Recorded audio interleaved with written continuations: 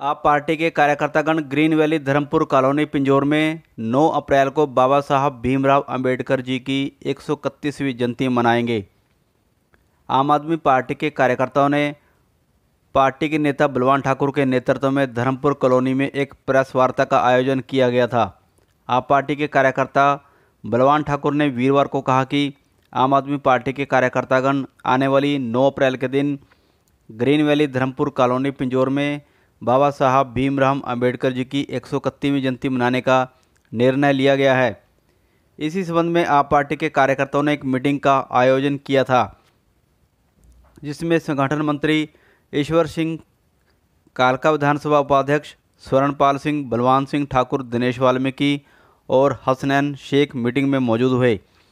इसमें जानकारी देते हुए बताया कि पिंजौर में पहली बार आम आदमी पार्टी बड़े स्तर पर कार्यक्रम का आयोजन करेगी। जिसमें राज्यसभा सांसद डॉक्टर सुशील कुमार गुप्ता मुख्य मेहमान के तौर पर शिरकत करेंगे। इसके अलावा यहाँ सुखबीर चहल बी के कौशिक, योगेंद्र शर्मा, डेरावसी विधायक कुलजीत सिंह रंधावा सहित अन्य पदाधिकारीगण मौजूद रहेंगे।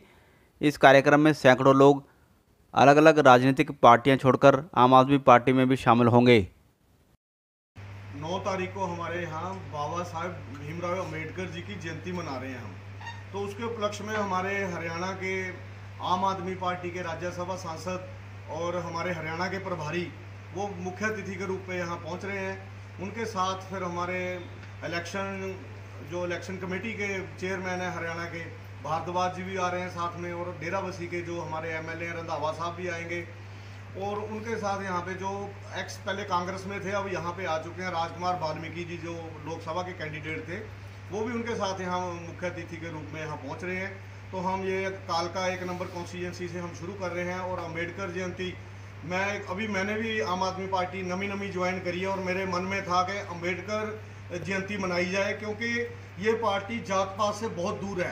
क्योंकि एक मैं राजपूत हूँ और लोग कह रहे हैं अंबेडकर जयंती मना रहा है। मैंने ये लोगों को मैसेज देने की कोशिश करी है कि यहाँ पे कोई जात पात नहीं है, हम सब हिंदुस्तानी हैं और आम आदमी पार्टी का मेन मोटिव यही है कि हम सब एक हैं, चाहे वो किसी भी जाति का हो। जैसे बीजेपी ने जातिवाद का जहर घोलकर लोगों को लोगों को आपस में बढ़वा दिया, ब्राह्मण राजपूत कोई, उन्होंने दलित बना दिया, किसी को कुछ बना दिया।